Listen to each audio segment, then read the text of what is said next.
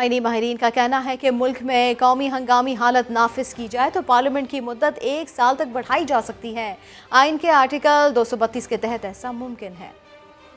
Constitution में ये एक असेंबली है, उसकी जो लाइफ है, वो पाँच साल है। पाँच साल से ज़्यादा नहीं हो सकती। अगर उनको एक्सटेंड करना है तो उसके लिए उनको नेशनल इमरजेंसी इम्पोज करनी पड़ेगी।